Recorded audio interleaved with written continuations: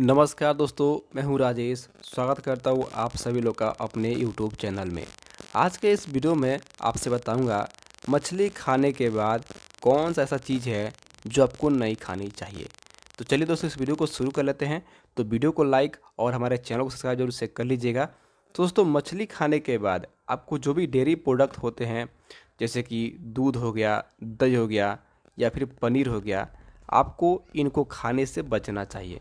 अगर आप गलती से खा लेते हैं तो आपके पेट में दर्द हो सकता है, पेट फूल सकता है, त्वचा में चकते निकल सकते हैं, एलर्जी हो सकती है।